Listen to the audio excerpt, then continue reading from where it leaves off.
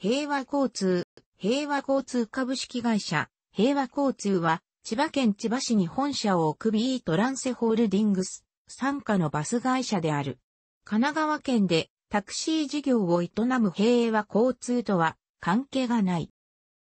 千葉市西小中台団地住民の要望により、乗り合いタクシーの運行を行うため、1975年に設立された。その後、バス事業を開始し、既存事業者の路線が及ばない地区を中心に、積極的な路線展開を行っている。特定の買い物需要に対応したお買い物バスやの運行も行っている。本社は千葉市稲毛区宮の議長にあり、営業所を併設している。営業所はこのほか、若葉区若松町に若松営業所がある。また、幕張ベータウン近くにベータウン出張所を置く。乗り合いバスの営業エリアは、稲毛駅と新ケ見川駅の中間に位置する西小中台、二例の木台地区、千葉市若葉区と四街道市にまたがる若松台、明和地区、及び幕張ベータウン地区の3つに大別でき、運行は前出の2営業所、1出張所によって分担されている。高速バスを含め、パスモなどの交通系、IC カードが使用できる。パスモ対応路線は、当初ベータウン線のみだったが、2007年10月8日から本社系統の路線でも使用可能となった。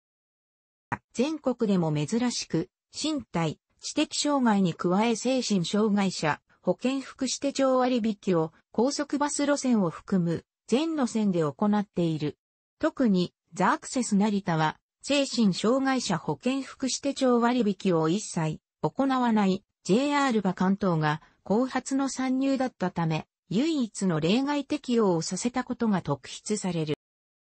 女性運転手が多く所属しているグループ会社としてアスカ交通、旧団地交通、西岬観光があり、平和交通を含む3社の統括、持ち株会社である BE トランセホールディングス株式会社と合わせて2009年12月1日より、ビトランスグループ、BE トランセグループを結成した。1960年代から70年代にかけて、千葉市では住宅団地の造成が急速に進み、既存バス事業者は団地ができるたびにデベロッパーや住民からの要請を受け、路線を新設する必要に迫られていた。しかし、団地輸送路線は、ラッシュ時に多数の利用者がある反面、入居の進み方によって需要が左右されることや、朝夕と昼間の利用者数の差が極端で、運用効率が悪いなどの問題点もあり、事業者にとっては手放しで歓迎できるものではなかった。こうした中、団地によっては入居者数や周辺道路の状況の悪さを理由に、事業者がバス路線の開設を拒否するケースが生じてきた。平和交通は、このような団地で乗り合いタクシーの運行を始め、現在のバス事業につながる土台を築いた。最初に乗り合いタクシーを運行したのは、稲毛とケミ川の中間付近、現、花見川区にある西小中台団地である。ここでは、自治会の要望により1975年に、最寄りの新ケ見川駅との間を結ぶ運行を開始した。続いて、1979年に、市東部、現、若葉区の若松台団地菅駅間で運行を開始。さらに1982年に稲毛駅から西小中台を経由して隣接する二例の木大団地までの路線を開通した。いずれも当初は10人乗りの日産キャラバン E20 型で運行したが、その後一般貸し切りバスの事業免許を取得し、この下で限定的な乗り合い路線の運行許可を得ることにより、車両の大型化が図られた。1986年には、関東地方の非電鉄系列の会社では、戦後初めてとなる一般乗り合いバスの免許を取得し、以後徐々に営業規模を拡大していく。1990年には東京から二例の木台、西小中台を経由して若松台団地に至る深夜急行バスを開業し、1990年代に本社を西小中台団地から現在地に移転した。1994年には若松台に隣接する四街道市名は地区と四街道駅の間を結ぶ路線を千葉内陸バスとの共同運行により開設し、翌1995年に深夜急行バスを四街道駅まで延長するとともに、造成されたばかりの新しい住宅地である幕張ベイタウン経由に変更した。1997年には、ベイタウンと海浜幕張駅を結ぶ路線を、京成バスと共同で開設し、千葉市の臨海部に営業系を拡大した。1990年代末からは、日中の買い物需要に対応した運行の拡充が進められた。1999年には、稲毛線の日中の便を、稲毛サティ、現、イオンまで延長、ショッピングセンターに直結する停留所を設置した。2000年には、西小中台、二レの木台と稲毛海岸駅を結ぶ運行を開始、同駅前の商業施設、マリンピアとの連携が図られた。2006年には、海浜幕張駅と幕張本郷駅の間を伊東洋華道経由でブロ線も新設されている。このほか、2005年以降は深夜急行バスを外房線、内房線沿線にも拡大、千葉市、コミュニティバスの運行に関わる提案入札にも参加し、おまごバス、泉バスの2路線において受託運行を行うなどしている。2009年には、初の非中高速バス路線である千原線、大網線をマイタウンライナーとして開設した。同時に、グループ共通となる新デザインの高速バス車両を導入したほか、千葉東金道路大宮インターに隣接する大宮町バスターミナルにパークバスライド施設を整備した。続いて、2010年に深夜急行成田線、2011年に深夜急行千葉ニュータウン線、2012年に非中高速バスの幕張ベエリア線を新設し、高速バス路線の拡充を進めた。2012年8月には、初の空港連絡バスであるザアクセス成田を開業し、成田空港への乗り入れを開始した。ザアクセス成田は、片道1000円という低価格戦略と、チケット不要のシンプルな乗車システムが功を奏し、JR バス関東、飛鳥交通、西岬観光との共同運行を経て、1日142便、運行する路線に成長している。ケミ川線は、新ケミ川駅と西小中台団地を連絡する目的で設置された路線であり、平和交通がバス事業を始めるきっかけとなった最初の路線である。運行を開始したのは1975年で、当初は10人乗りのワゴン型車両で、西小中台団地と新ケミ川駅北口を結んだ。その後、利用者の増加に伴い全長7メートルクラスのマイクロバスに切り替え、1979年に起点が新ケミ川駅南口ロータリーに移った後、ルートや停留所の新設を経て、今に至る。基本となるのは、新ケミ川駅旭ヶ丘西小中台団地の便であり、日中はこれのみが運行され、ラッシュ時には一部の便が、循環やケミ川町経由となる。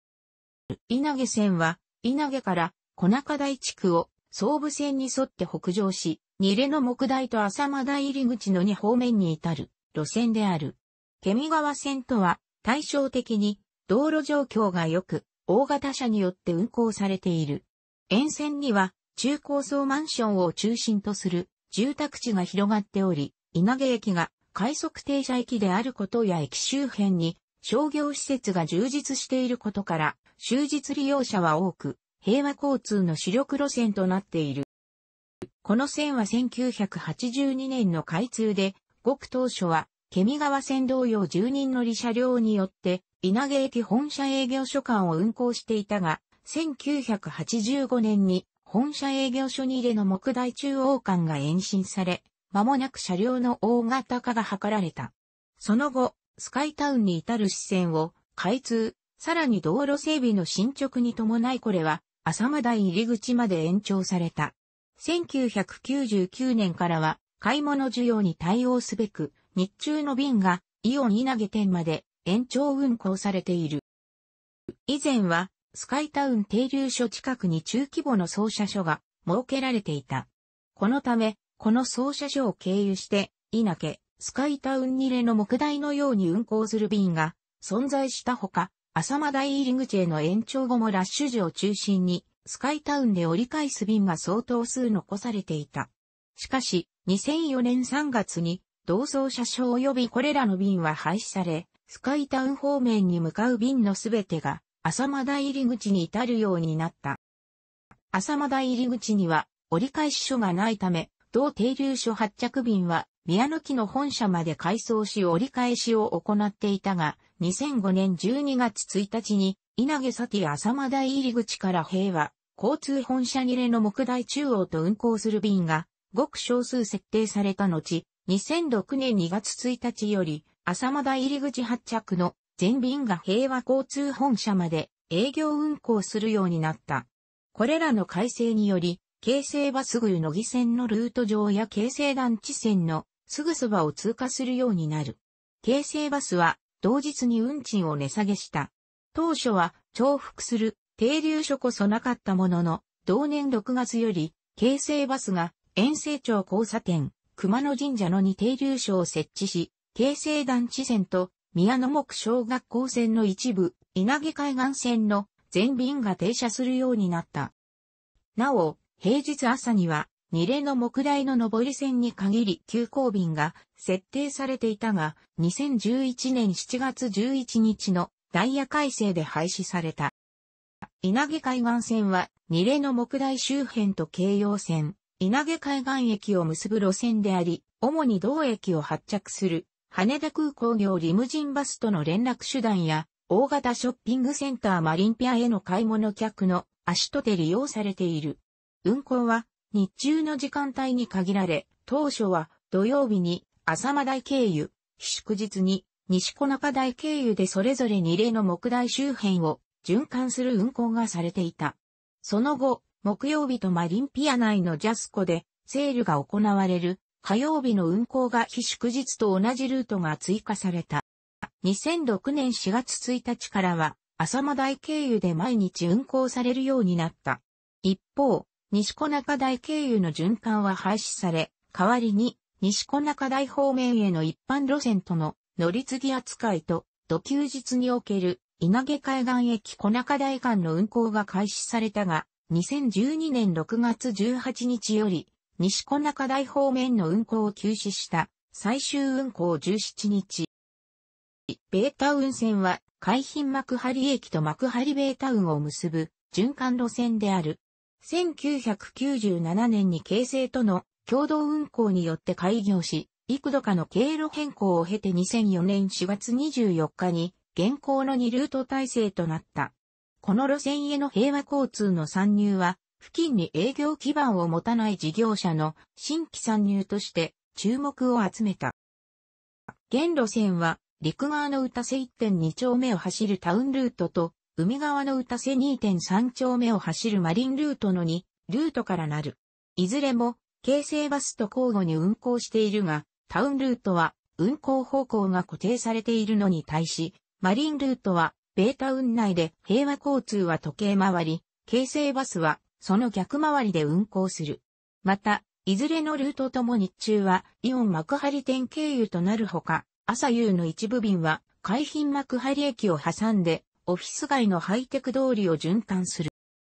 この路線は当初より黄色一色の独自デザインの車両が使用されているが、車両のサイズは利用者の増加により大型化が進んでいる。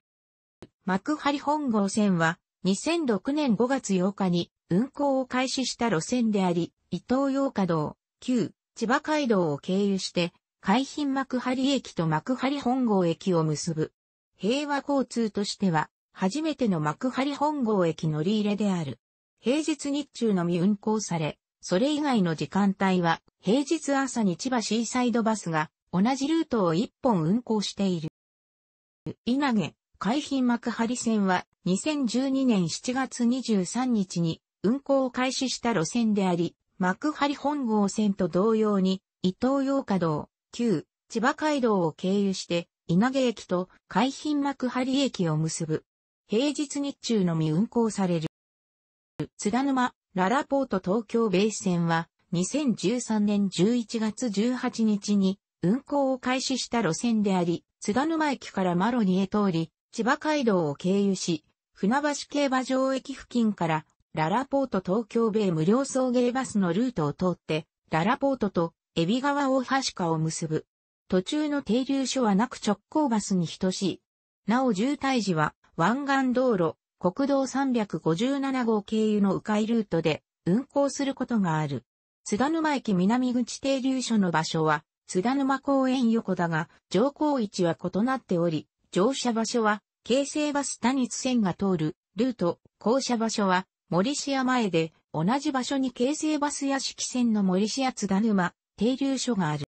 基本的に毎日運行だが、休館日の場合は運休となる。この路線はララポート東京米発木だが、始発と終発だけ、海老川大橋下まで運行される。若松線は、津賀駅と若葉区北部の若松台団地を結び、ケミ川線に次いで古い路線である。若松台営業所が担当し、道路が狭いため車両は中型車が使用される。本数の大半は開通当初から運行されている大正寺浦を経由する便であり、後発の若松高校経由便は、通学時間帯に一本あるのみである。若松大側の終点は、当初中央公園、行き先案内は、若松台団地であったが、1990年代末、頃に営業所内まで営業運行するようになった。ただし、現在も中央公園泊まりの便が一定数残されている。また、かつては、津賀駅を出ると、しばらくの間、京成電鉄が重複して、路線を有していたため、競合を避けるため大正寺裏まで停留所を設置していなかった。この間の実り幼稚園、スポーツセンター、桜木町坂上の3停留所は、1997年に、京成が路線を廃止した際に継承したものである。若松営業所、伊東洋華道線は2011年5月に、開設された路線で、四街道市街への買い物利用、公共施設へのアクセスを目的としている。小型車両が使用されており、平日日中のみの運行である。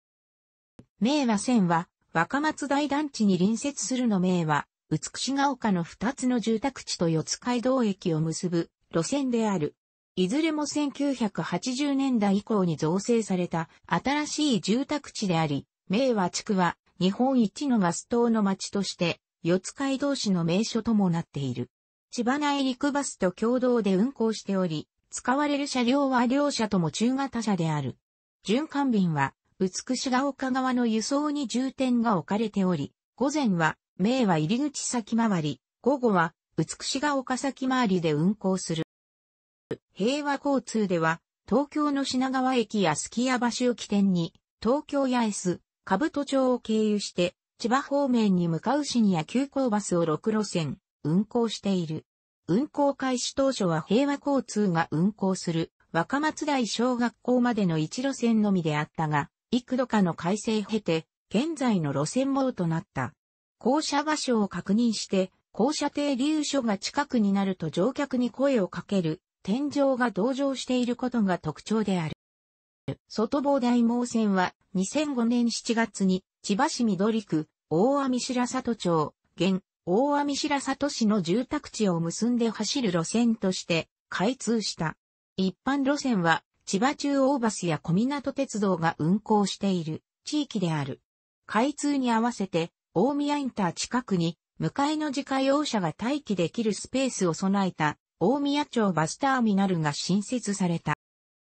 その後、2006年12月に、京成千原千円線と、蘇我、市原市北部を結んで走る内房越線が開通し、3路線体制となった。これに伴い、大網線の千原台駅周辺停留所が東系統に移り、大網線は大きな迂回がなくなり時間短縮が図られ、千原台駅利用者は実質値下げとなった。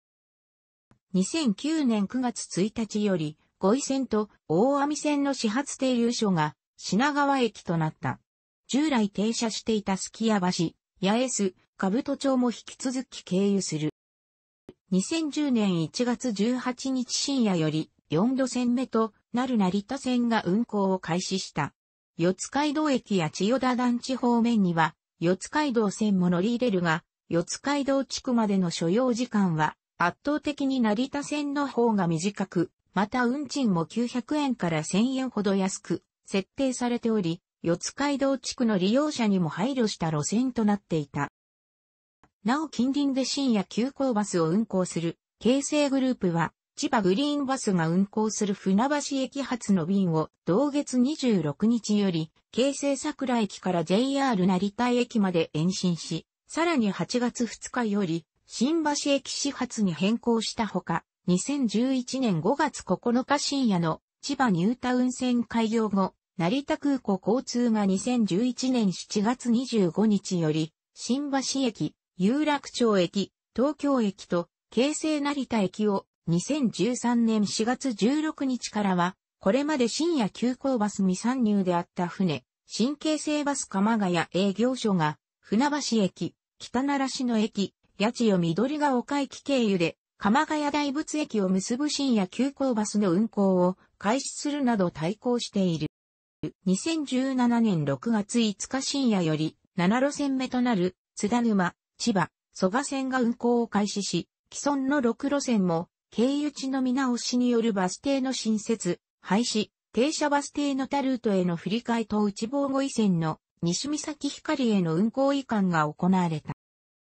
2005年以降平和交通では上述の深夜、急行バスを千葉市南部、市原市北部でも運行してきたが、地元から日中運行の高速バスを運行してほしいとの要望があり、2009年12月1日より、マイタウンライナーとして千原線、大網線を同時開業した。上り線のうち、千原、お弓線の平日早朝は、すき家橋八重洲口の順に、それ以外は、八重洲口すき家橋篠ノ名4前の順に停車する。下りは、全便市ののめ4前もしくはすき家橋始発となるが、深夜急行バスが停車する兜町には停車しない。運賃は区間によって異なるが、東京まで千原台駅から1300円、大網駅から1500円、大宮町バスターミナルからは1200円となり、IC カード利用で10%引きとなる。大網線は、大宮町ターミナルでの乗り継ぎ扱いとなった後、2015年11月20日に廃止された。幕張ベエリア線は2012年6月4日の開通で奇襲点が異なるが、アスカ交通と共同運行している。マイタウンライナーの愛称は、もともとアスカ交通の深夜急行路線で使用されていたものだが、この路線の開業と同時に、両者共通の愛称となり、上述の深夜急行路線、早朝通勤路線もマイタウンライナーとして紹介されている。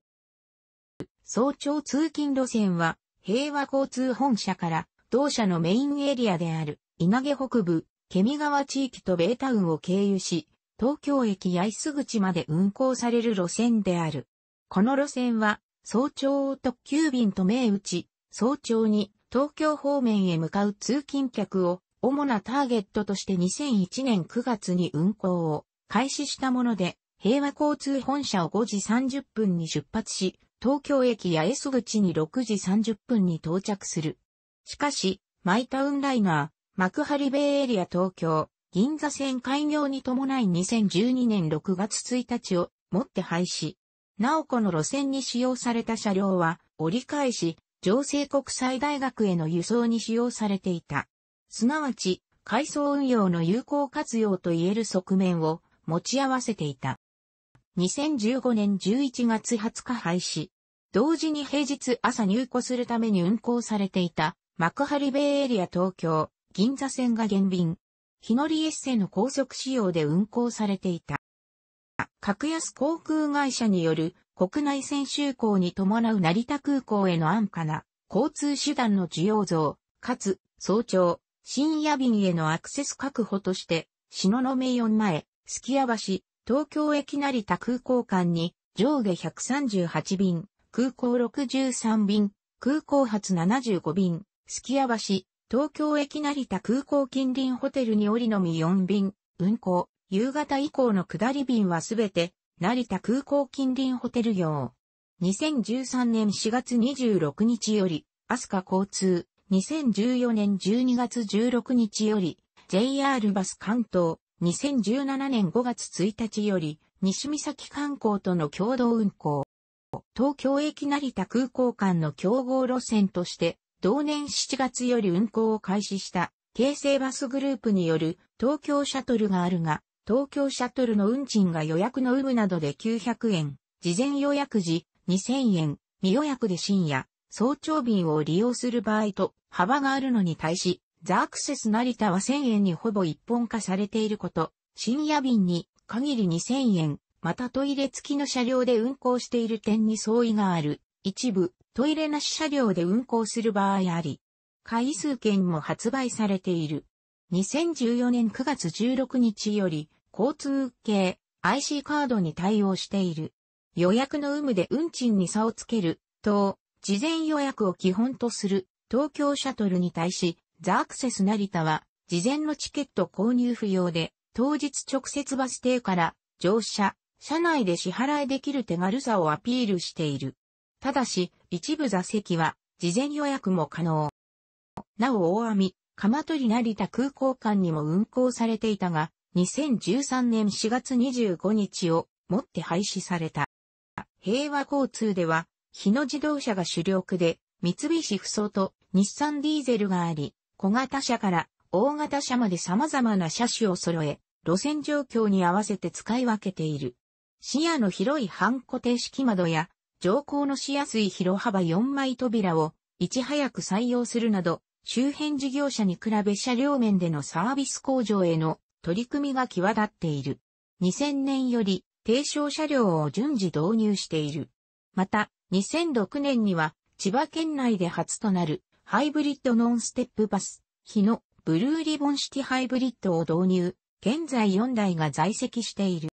乗り合いバスのカラーリングは、かつて大型車が富士重工ボディ、中型車が日のレインボー二つ目ライトの頃は、アイボリーと青のツートンであったが、本社の移転した1990年代前半より、純正車体にクリーム色にカラフルな模様を施したデザインに変更された。このデザインの車両はスマイリングシャトル、スマイリングシャトルの愛称で呼ばれ、現在に至るまで導入が続いている。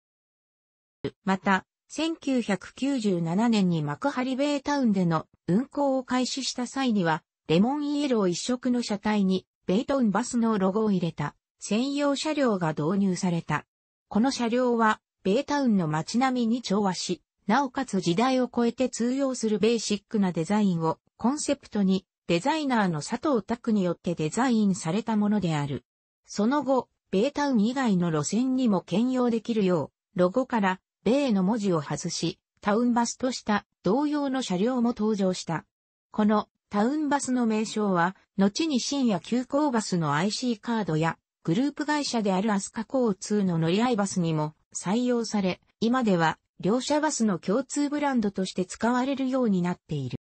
一部を除く高速バス車両には、日本一挨拶はを大切にするバスとタクシーのグループ会社という BE トランスグループのブランディングスローガンを大きく表記した塗装が施されている。